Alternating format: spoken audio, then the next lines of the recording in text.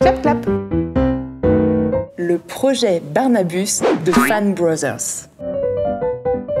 On y découvre Barnabus. C'est un petit être moitié souris, moitié éléphant, qui figure sur une étagère dans un bocal au fin fond d'un laboratoire secret qui se trouve sous une boutique parfaitement ordinaire de créatures extraordinaires. Et Barnabus est dans son bocal, il vit une petite vie simple, mais c'est une créature ratée. Lui n'a pas conscience d'être raté.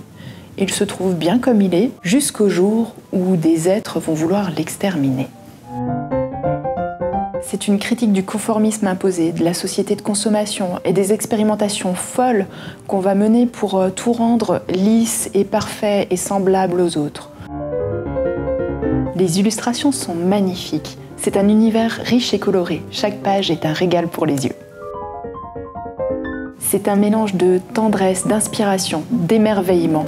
C'est un livre à mettre entre toutes les mains, qu'on soit petit ou grand. Mais oui, bien sûr.